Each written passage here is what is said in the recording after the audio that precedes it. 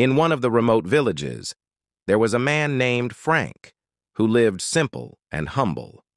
Within one day, a huge jar caused him to stop.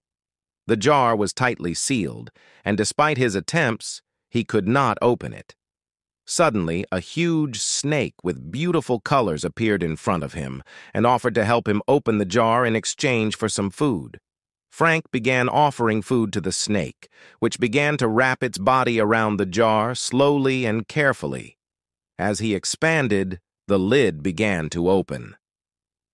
It did not take long for the snake to open the jar, but Frank was very surprised when he discovered that the snake could not get out of the jar due to its narrow opening.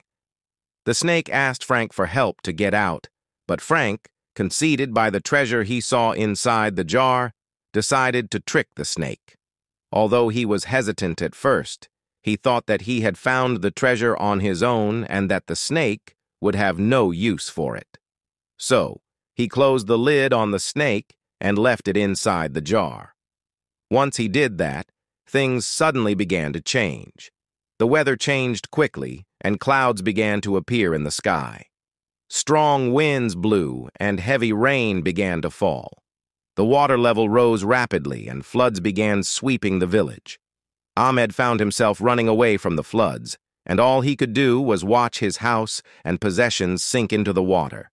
Despite his sadness and excitement, the treasure inside the jar was completely missing. This story teaches us a harsh lesson about greed and selfishness, and that cooperation and honesty are the foundations of success and peace in life. Please support and subscribe to encourage continuation and creativity. Thank you.